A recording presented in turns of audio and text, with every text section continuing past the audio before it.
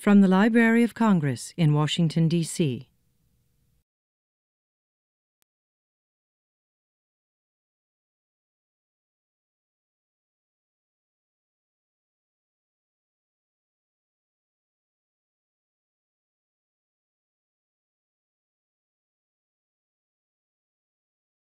My name is Georgette Dorn, and I'm the chief of the Hispanic Division. It is a great pleasure to welcome Franklin Knight to the Library of Congress. He is a professor emeritus at Johns Hopkins University, and he has written many, many books on Cuba, on Latin America, on Brazil. He's a famous lecturer.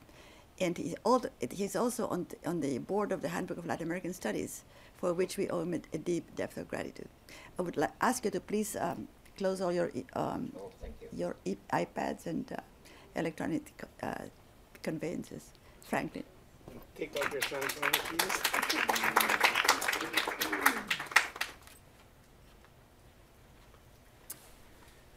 Thank you very much. It's a pleasure to be here, and I must start with an apology.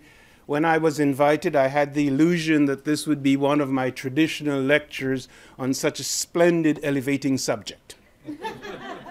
that is to say, it would be accompanied by appropriate samples all through the delivery.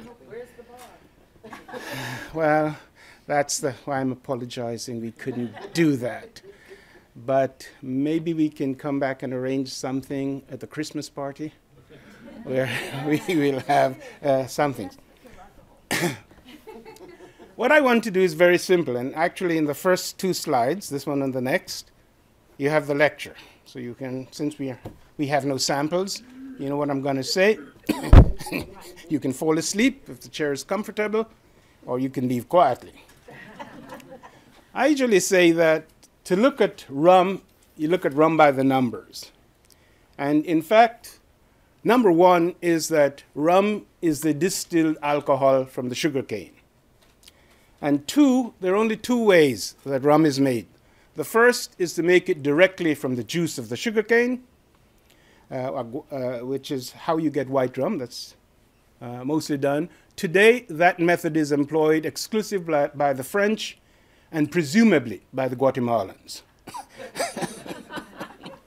All the producers of uh, rum in the world, and it goes under different names as we'll see uh, shortly, produce it from molasses, which is a byproduct of producing sugar. Uh, there are three types of rum. despite what the marketers are trying to put in. There's white rum, 80% of the rum consumed is white rum, and all rum begins as white rum because it's a distilled spirit, just like any distilled spirit will do. So when you talk about white rum, you're talking about sugarcane alcohol. And the reason one never wastes time talking about that is that there are really no subtle qualities in white sugarcane alcohol. It's stronger or it's weaker and it blends like the other things. When I give a lecture on this, we start with this and I say, don't drink it. Just put your finger in it, put it on the tongue so that you get to know what sugarcane alcohol really tastes like. What is more, uh, what is preferable for people who like to indulge is regular colored rum, called gold rum sometimes. And that's usually put in casks, white oak casks, and aged from one to four, five, or six years. That's called batch rum. And that's the second largest component of rum because it's cheaper, of course. The third group is what's called aged rum or añejo or premium rums. That must be aged a minimum of six years, usually seven or more, up to 100, and it's blended, just like whiskey. So, where you get your qualitative distinction mainly is in this third category of rum, the premium blended rums. And again, when I go on to talk about it, I will tell you that recently the market has been assaulted by all sorts of premium rums claiming to be 20, 30, 40, 50 years old, years old and it's all made over a weekend. But you can find that out. And I'll tell you the secret of how you find a genuine aged rum from one of these weekend uh, uh, rums. There are four characteristics that connoisseurs look for in assessing rum. And they're very simple. The first is the color. It should have this nice color, and I'll come back to talk about this a little. And that's why it's always suspicious to buy expensive premium rums which are not in a clear bottle. You have to establish a reputation before you can do that, such as Pampero Aniversario or Zacapa from Guatemala. Those have the distinction, well, Zacapa, we don't know. I'll talk a little bit more about that. But they have the reputation that their rums are good enough, that people will believe them even if they're wrapped in leather. the second is a bouquet. That's really very important. White oak gives a peculiar bouquet to aged rums. And that can be blended, complicated, and ameliorated by whatever special additive that's put in to make the rum suave or gentle. In the case of Zacapa, we know, of course, it's sherry. In the case of something like uh, Royal Crown from Trinidad, it's Angostura bitters.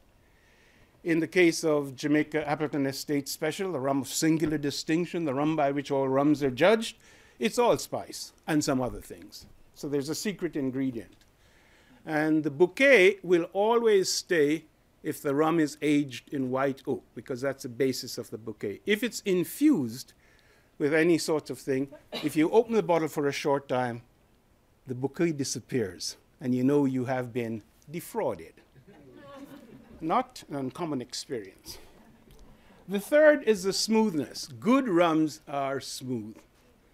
And a lot of these bouquet rums, because they are forced over a weekend or so, are not smooth. They're a little harsh. And you again will feel that, which is why the sampling of rums is an important part of the discussion of rums. And I like to say that the fourth and final one is equally important. There should be no harsh aftertaste. After all, when you open the bottle, you should be encouraged to finish the bottle. And if it has this kick, you're not going to be encouraged to do that. You're going to blend it with something else. So, let's start at the very beginning. How do you make consumable alcohol? There are three ways. I'm giving you all these mathematical things one, two, three. The first, of course, the oldest way is fermentation. You leave most things out, even the sugar cane, it will ferment. That's how we got grapes fermenting, and wine became the first distilled, oh, sorry, uh, alcoholic beverage consumed widely in all wide growing areas. The second is after the discovery of fire, is brewing, boiling the stuff, creates ales, beers, filthy stuff, uh, but good. And the third, which became popular in the 12th century, actually, thir- beginning of the 13th century, with the Fourth Crusade, was sugarcane alcohol. Now, a lot of books on rum will tell you that rum is a West Indian invention. That's not true. A lot of other books will tell you that rum grew out of the Levantine Mediterranean, out of Lebanon and Syria, and that's partly true. But Marco Polo in 1224 writes that he tasted a wine made from the sugarcane in China. So we know that since the beaker, the instrument of distillation, is of Chinese origin, and that the beakers 9,000 years old have been discovered, we know that the Chinese were distilling all sorts of stuff, mainly rice, but, but also sugarcane. Uh, as an aside, I will tell you that the sugarcane comes from, and I'm going to sort of go over that part, comes from Indonesia, domesticated in Indonesia, went through China to India, and then came to the Middle East. And in fact, as late as the 15th century, in most of the Ottoman Empire, sugar was called Indian salt. And in fact, this is when the coffee, which is a beverage taken in the Arabic countries with salt, became blended with milk and Indian salt, which is sugar. You can still get that confection in Vienna today. So uh, these rums are uh, the basis, uh, these sh- sugar canes, or different types of sugar cane, are the basis for distilling rum. Here we have some types of sugar cane. These are exactly what the sugar cane looks like. And the these containers will have the juice in the old primitive forms. If you go to Madeira, you will still see some of those.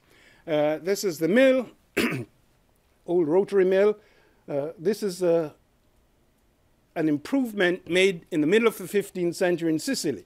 So for a long time, it was called the Sicilian mill, a double roller or a triple roller. This is the improved Americanized version. That's an American triple roller made in West Point, New York. Both of these are from the old Cuban sugar estates. Uh, not working now, obviously. Uh, these are the pots. You can see that they would boil it in the open.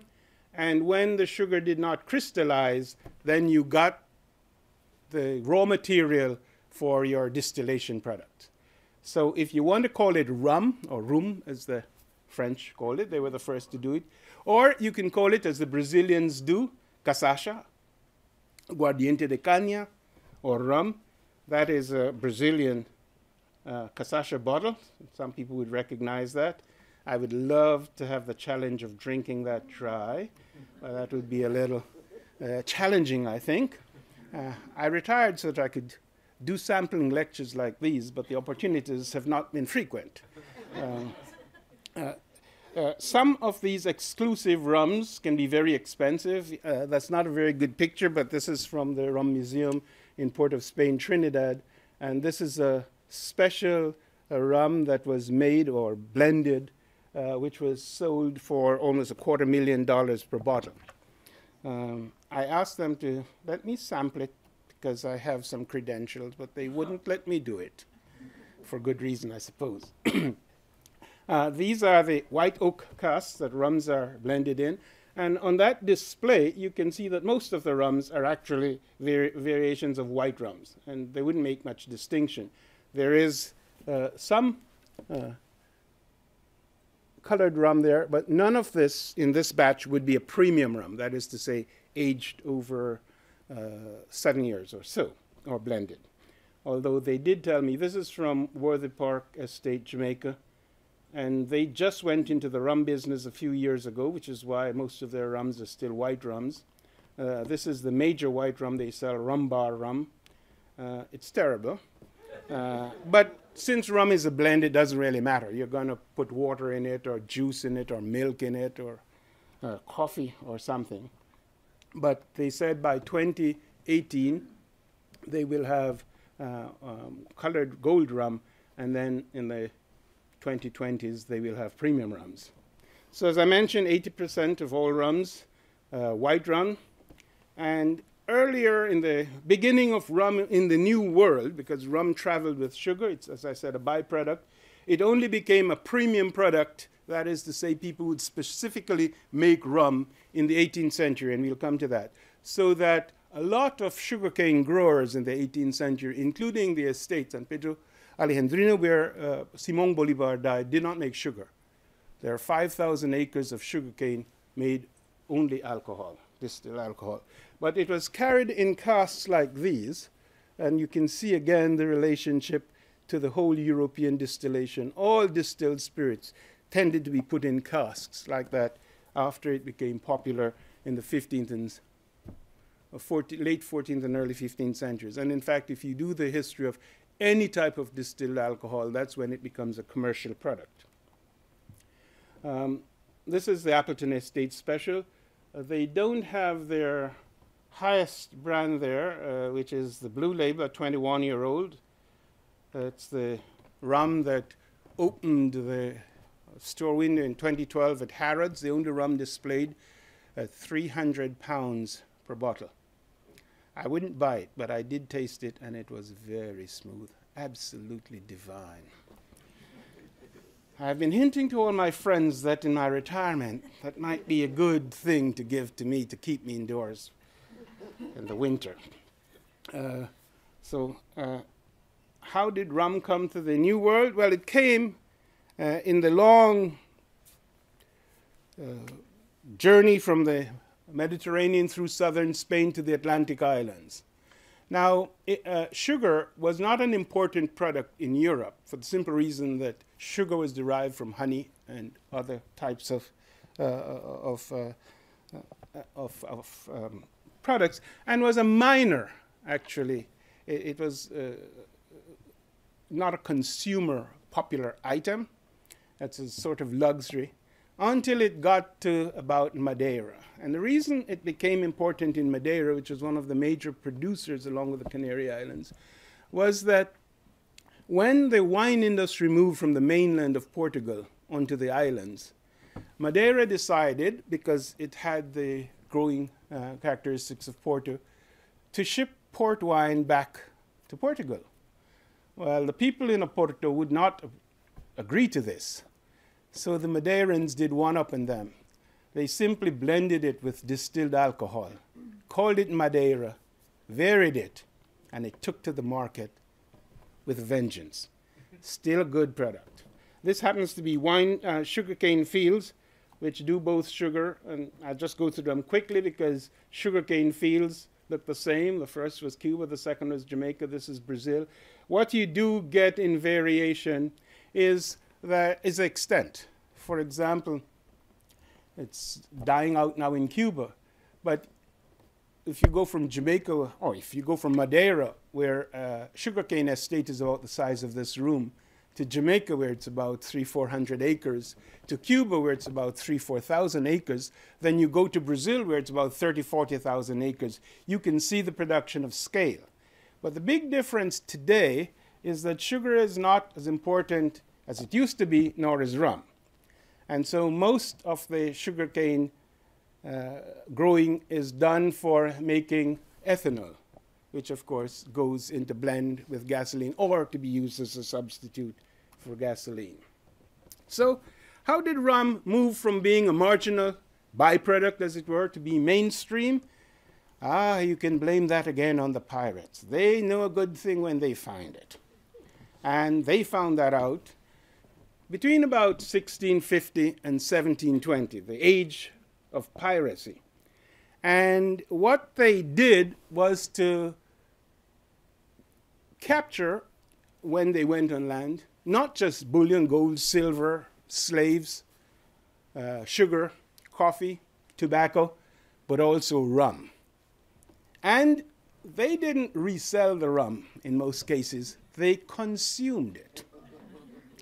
Well, about the beginning of the 18th century, when we have these large wars and European countries are establishing peace beyond the line, Admiral Edward Vernon, after whom Washington's estate Mount Vernon is named, was short of the ales that they supplied to their sailors.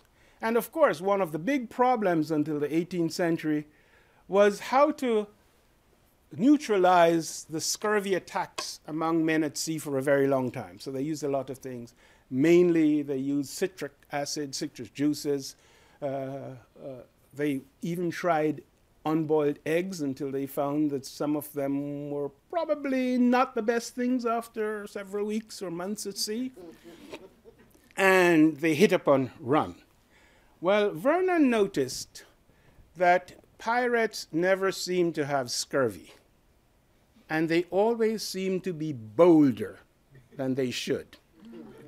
So, beginning in 1739, during the War of Jenkins' Ear, he ordered that all sailors and soldiers on his fleet, and his fleet included at the time Lawrence Washington, the older sickly brother of George Washington, who owned that little estate that later became Mount Vernon. It wasn't as impressive as George made it, but he owned it. And he was very impressed by this. I think not by the behavior of Vernon, but by the daily ration of rum. Because this is what Vernon said at the time it should be cut with water, but never blended so much that when taken, will not encourage a rabbit to bite the head off a bulldog. so here we get it, the, the grog. And it's called grog, old grog, because Vernon always went around uh, the, the, his uh, uh, ships wearing a grogram coat. So they called him, there goes Old Grog. And so his order of ration was called Old Grog. It's blended with uh, citric juice, uh, lime juice, and water. And we still make grog today, although we boil it. And you put in some spices, and it's a marvelous thing. One of the big pioneers in popularizing it was a pirate called Henry Morgan, an indentured worker who came out to Jamaica and ended up his life as lieutenant governor of Jamaica and had the decency to die just before his main spot, Port Royal, disappeared in an earthquake. His timing was always impeccable. Ask the Spaniards about that. After Drake, he is the other one. And that is the Captain Morgan, but the rum, unfortunately, is terrible. it's, it's what we call airport rum.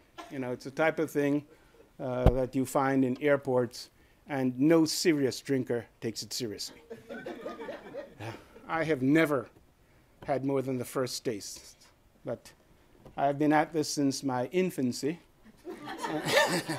and I'm still hopeful that I will uh, continue to be in good shape based on this. I won't read through all of this, but what it says is uh, Juan Anula in 1735 talking about this practice that they had found um, in Cartagena uh, um, on the Colombian coast, where the officers drank uh, distinct beverages, brandy and uh, uh, wines, and the lower classes drank a product extracted from the sugarcane, aguardiente de caña, which is white rum, and also that he was beginning to say it seemed that they benefited from drinking this at 11 o'clock every day. It was good for the appetite.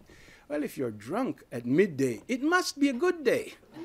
Which is why when I give these lectures, nobody ever complains, because by the time I'm finished, they're in an elevated state of you.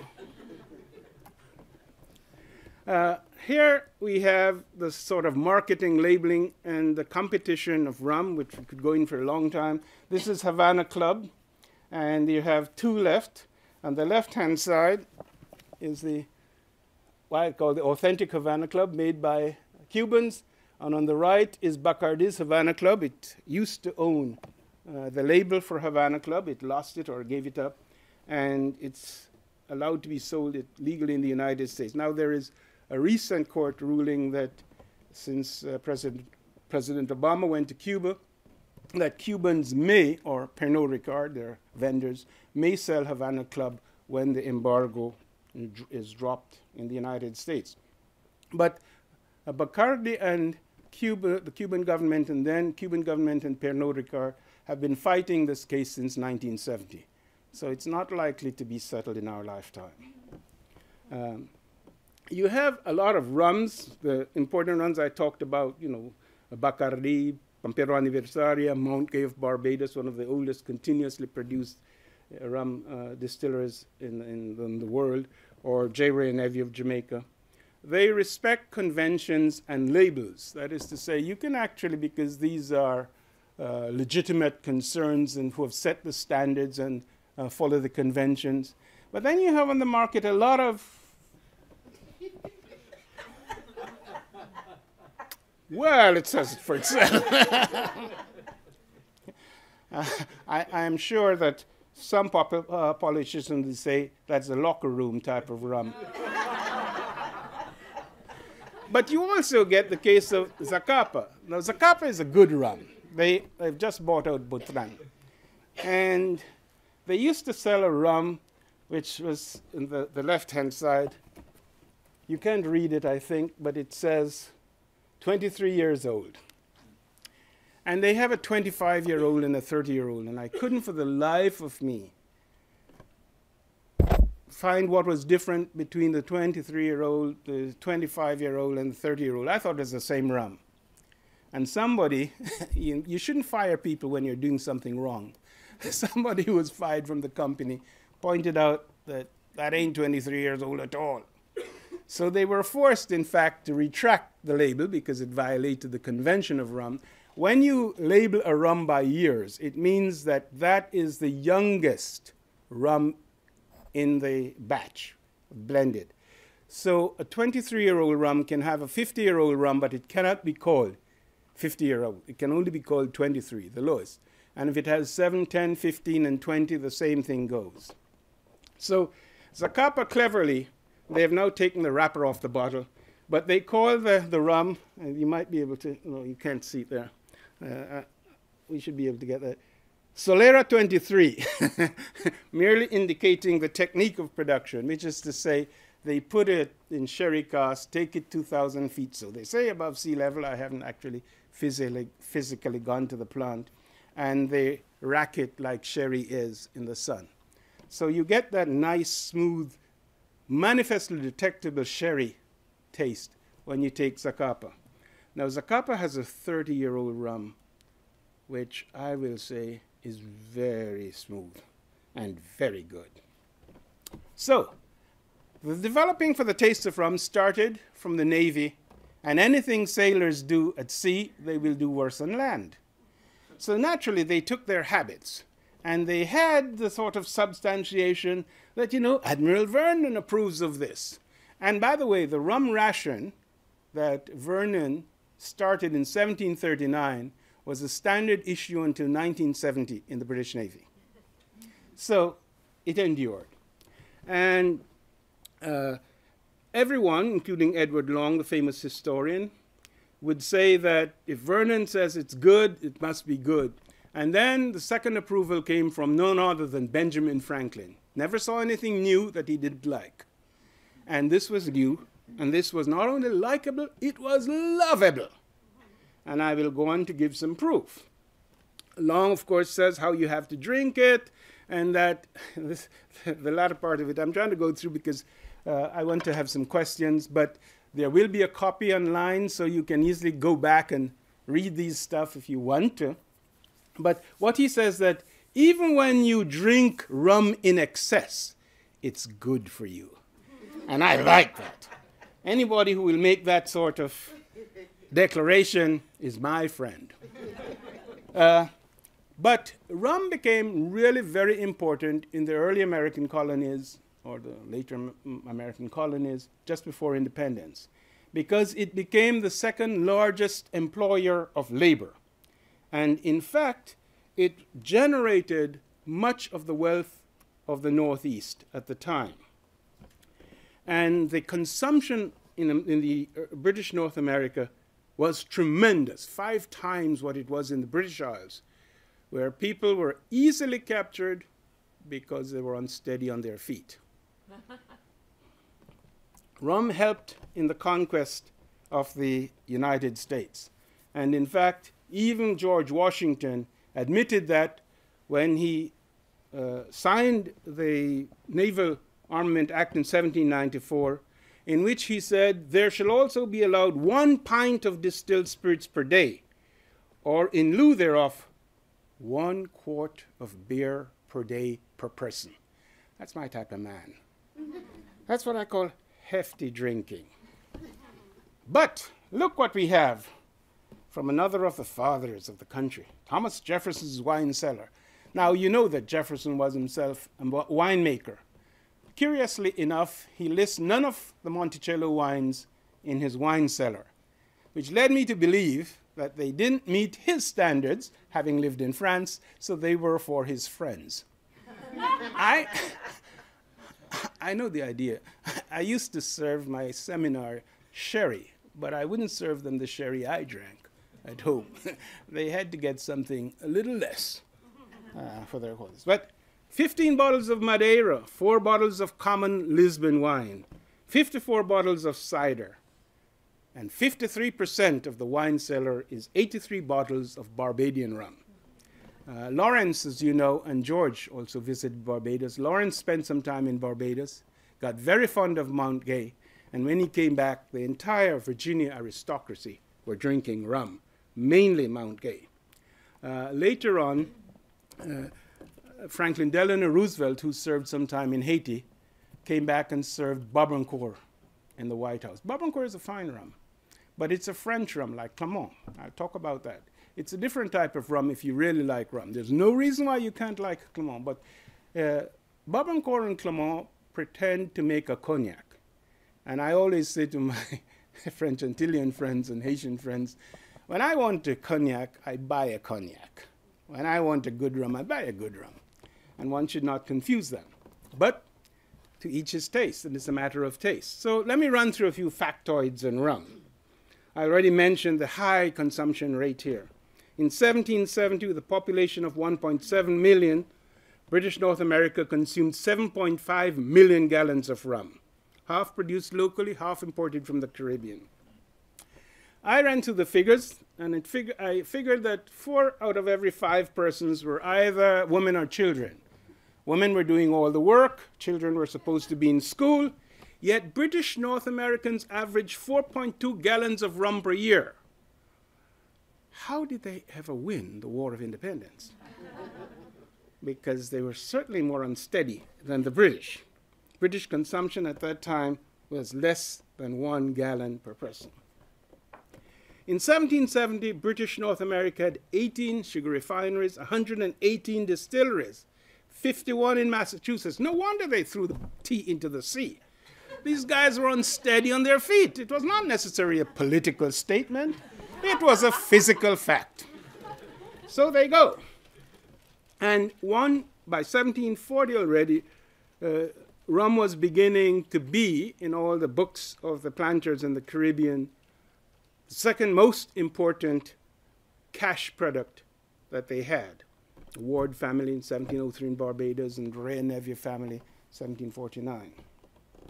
But when we begin to think of rum, the, the, the thing about the early rum, the 18th century rum, is that it's mainly white rum or it's rum that's crudely aged in white oak. After time, they found that white oak was the only oak that would give the chemical reaction that makes rum acceptable.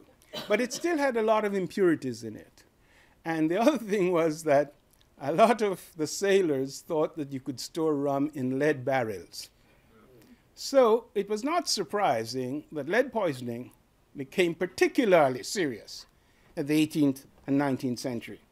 Then we come with Facundo Bacardi, who started what we call the modern age of rum making. Bacardi was a Catalan, came to Cuba where his brother ran the sugar business until uh, 2014. Uh, Sandy destroyed the factory, but until 2014 you could still see the original Bacardi factory in Santiago, uh, Cuba. And what he decided to do was to experiment with it, to see how you could uh, blend these aging rums, which he started. And by 1862, he had come on with a product that was acceptable, despite the fact that the more successful he was, the larger the number of rat bats flew from the distillery. So most Cubans called it rat bat liquor, but it didn't matter to the Bacardi family because the king liked it and gave them a gold medal, and they were on their way. About the same time, the Clement family in Martinique started the same process. And all new rum makers began to do the same uh, scientific aging, blending of rums, and removing more and more of the impurities that came with the whole process of sugar making. So that's how we got all of these different types of rums. The batch rums, which are the ones from two to about uh, six years, and those tend to be uh, common according to the batch uh, that's made. Uh, I'll sort of skip these uh, because we've talked a little bit about them and go through to the traditions of rum and how one, this is the blue label in the middle, the 21 year old that I have said.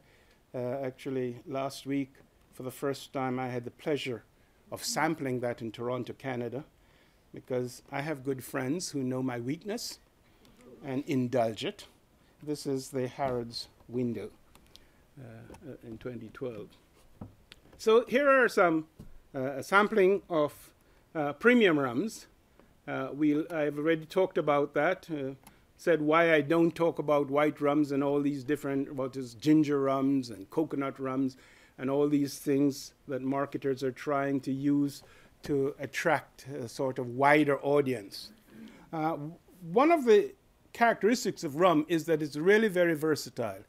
Anything you blend with rum, rum improves. so it's good at the beginning and it's get better with whatever you do.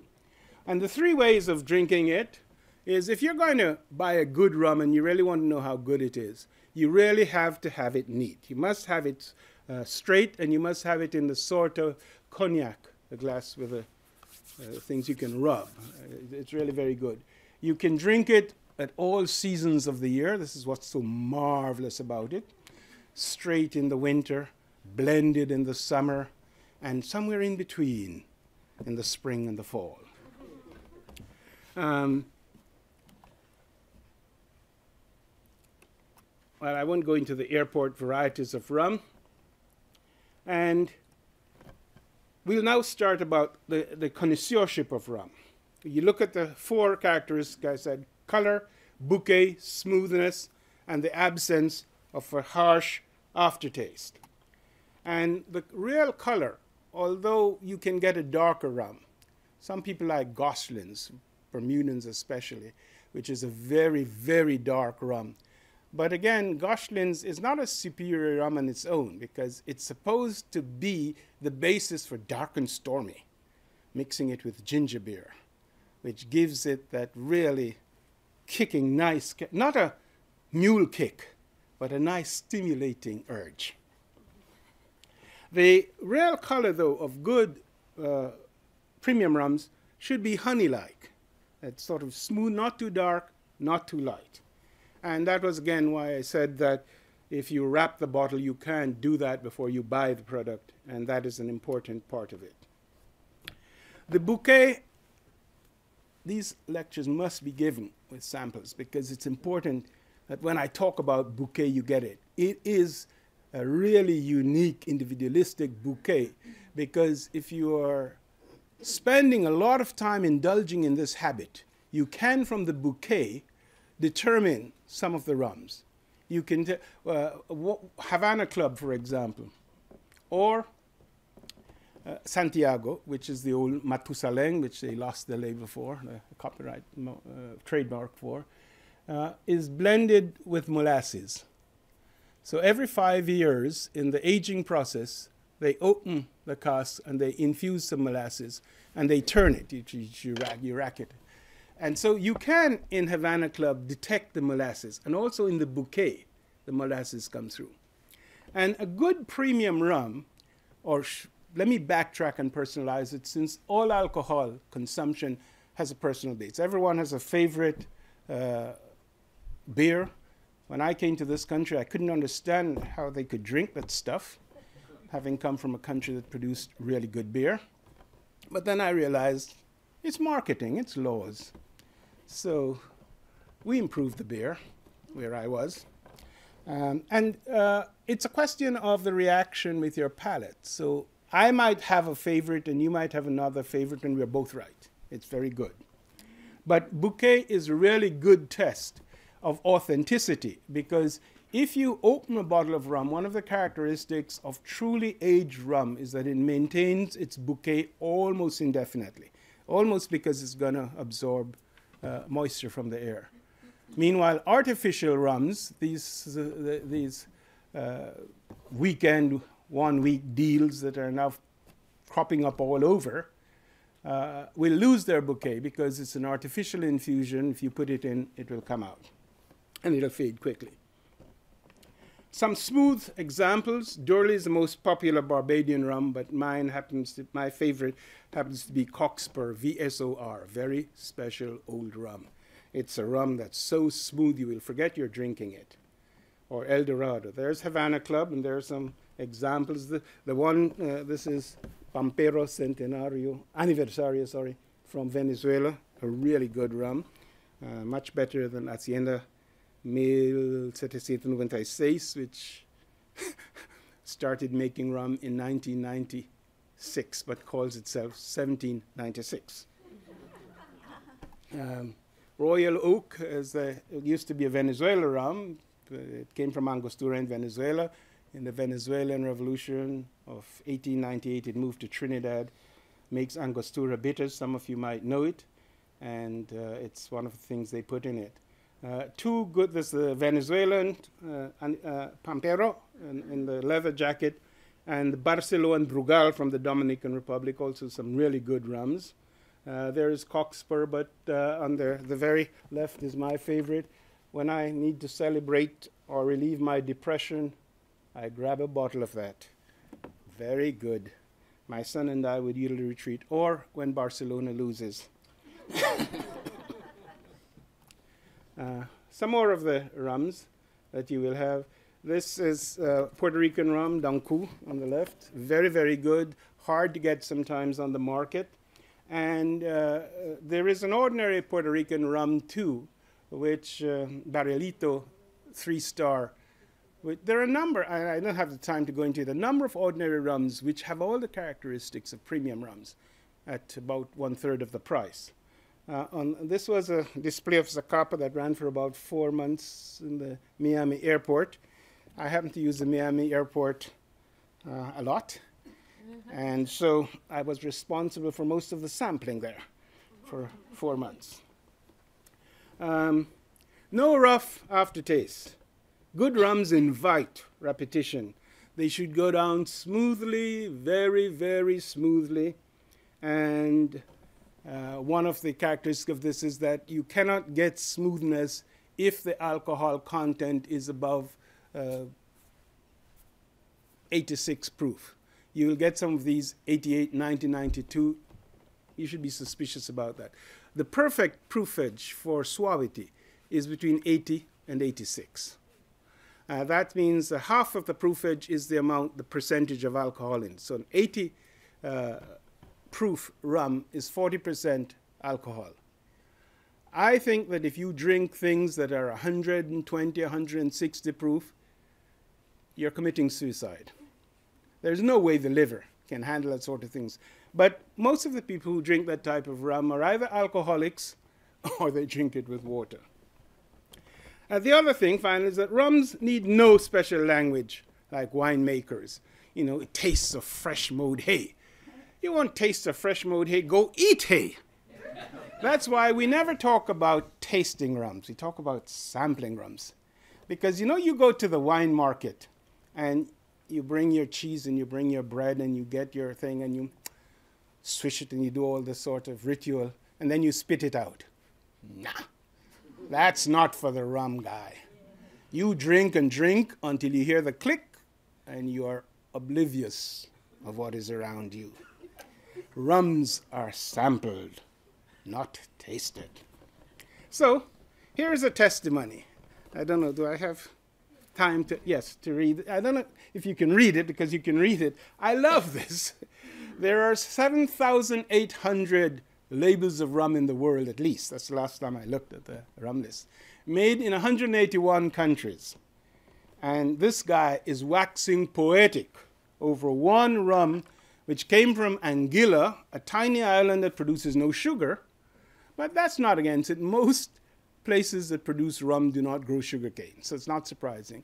Today, most rum, including, I suspect, most of the Caribbean rums, a lot of the North American rums, are from alcohol. Uh, Brazil is the major supplier, South Africa, Australia, Guyana. All the others uh, tend to buy the stock or buy the sugarcane. So, can I move on? Yes, that's what he is. I hate to tell him because this is about four or five years old that pirate is no longer bottled in Anguilla, it's bottled in Guyana. But it's still a good rum, uh, still an authentic rum. So, and uh, here I'm just running through some of the countries, and again, you can go online when this is up on the Library of Congress web and pick your rum. These are both normal batch rums, which are which, but the batch rums here, like the Barrilito from Puerto Rico, three stars, are rums which measure up. Or Flor de Caña. The ordinary Flor de Caña rum is a remarkable rum, and yet it's not a premium rum. Uh, Flor de Caña makes a 12 and 14 year old rum, which is, well, if Christianity gave that instead of milk and honey, they would have a lot more affiliates around the world.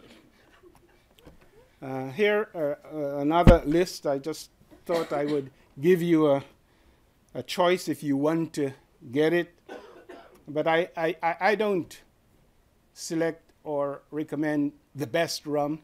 And I have said that I won't do that until somebody pays me to say that. Then you will get my number one. But usually I give a range of good rums. If you find a rum that you like, that's a good rum. Buy it and drink it. If it has all the qualities as a premium rum that I have indicated, then you're home for good. And they can come from anywhere you want. I haven't really got into the Australian and South African rums yet. I've had a few, they're really, really good, or some that I have tasted, but I need to get a range of that. And then there is a bibliography for those of you who thought that I was just speaking from elevated stimulation. But I actually did some reading as well as drinking. Thank you very much.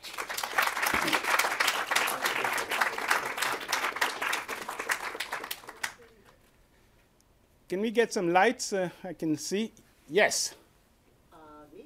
Yeah, yeah, you're number one. I wanted to say that, first of all, I had the pleasure of sampling rum with Joyce. Oh, you can't get any better. Joyce, for those of you, Joyce Spence was the first female blender in a major rum maker in the world. She was J. Wray and Nephew in Jamaica, Appleton Estate Special. And when she was appointed, I remember it well there was doom and gloom from all quarters of the globe where people appreciated good rums. They say, this is the end of a good label. She is the one that developed the blue label 21 year old and some others. Uh, there are only two female blends. She has a PhD in chemistry. So she's, she's, she has the credentials. Most of the other people are sniffing and snorting. Sorry, I take that back. No political reference here, please. but but um, uh, a lot of it is, you know, the father to son tradition of declaring the sort of quality. Yes, but you were going to say something else. Yeah. So mm-hmm. my question is, mm-hmm. even though, well, she, she did give me a, a nice bottle of rum, mm-hmm. like the VS or something. Yes, very special. Mm-hmm. Mm-hmm. We sat under the trees at Devon House and sampled rum. She said, never put anything in your rum except a little coconut water or ginger beer, but never a Cuba Libre. Well, never Cuba Libre. Yeah, well, I, I, I will agree with that. I myself think that Coca Cola is supposed to be a rust remover. and, and so I, I, don't, I don't drink Cuba Libre, but a mojito. Now that's something else. Uh, in fact, I walk around with my own recipe for making mojito. And in Cuba, when you know, I will say to someone, uh, "This is not very good," and they say, "Oh, it's a Cuban thing," And then I whip out my little night's special mojito recipe. They say, El sabe, El sabe. He knows. He knows.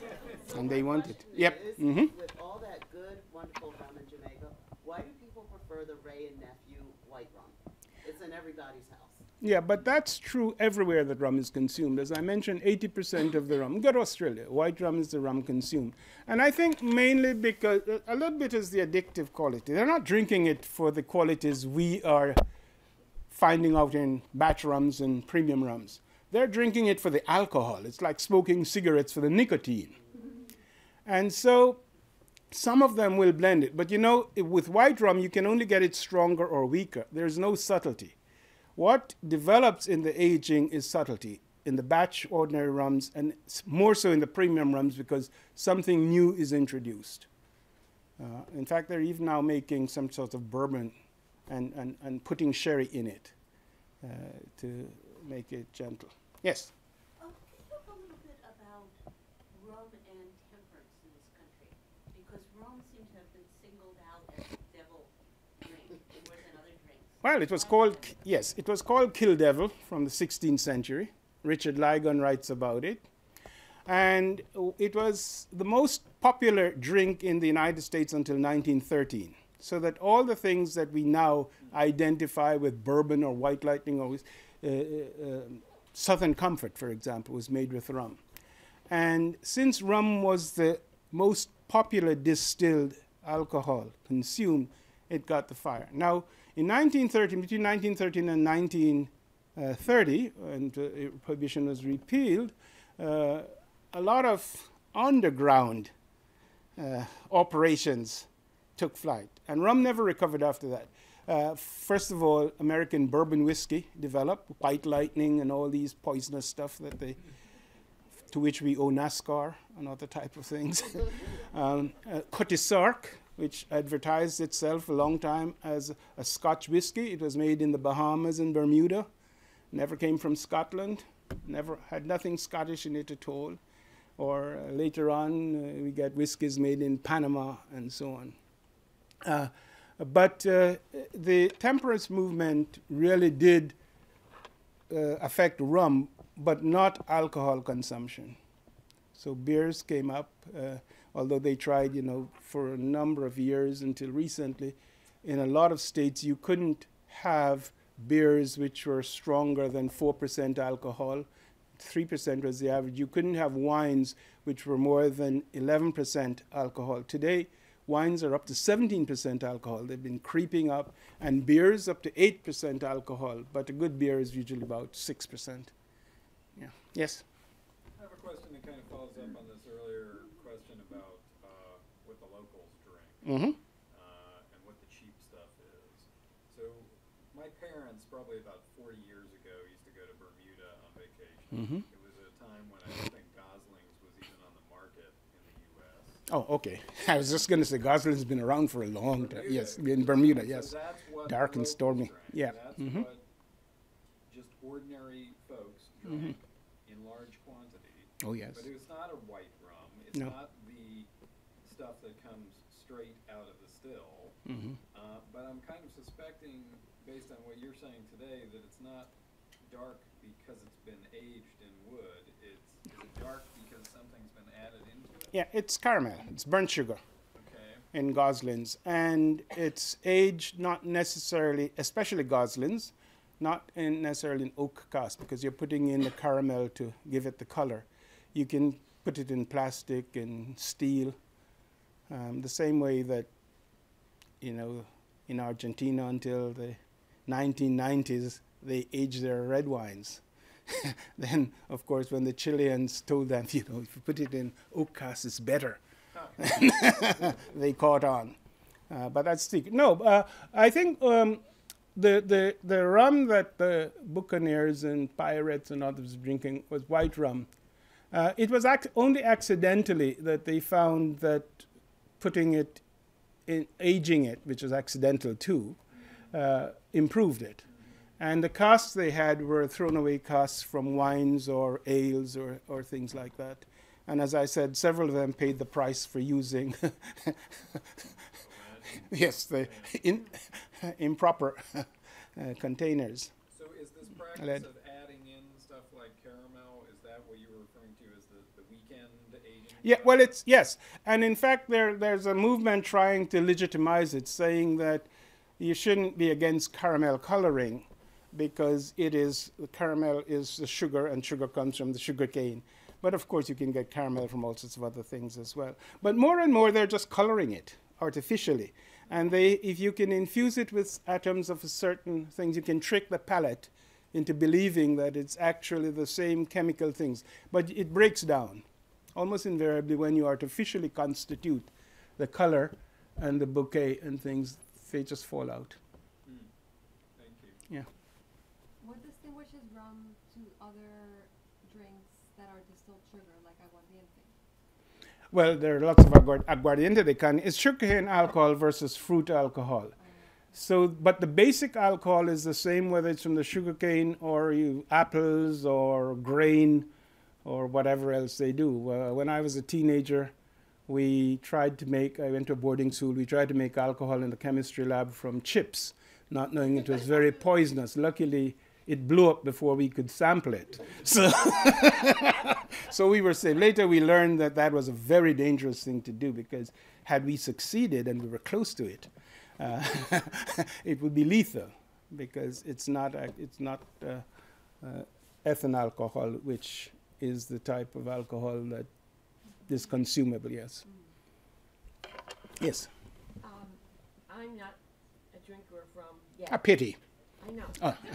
uh, but I have a weak head. Mhm, why. mhm. Um, to get a good rum, how much would it cost in the United States? Oh, there's a great wine shop at the foot of Wisconsin Avenue on M Street, and you can get a good rum there for 20 bucks.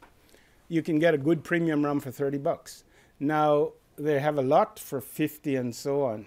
But no, you can get a good ordinary. You look for Barrilitos Tres Estrellas, or you look for the Flor de Caña. I think they have both.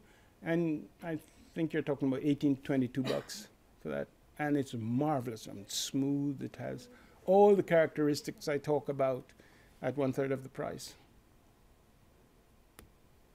That's it. I thank you for your attention. And again, I apologize that you have to take my word for it. This has been a presentation of the Library of Congress. Visit us at loc.gov.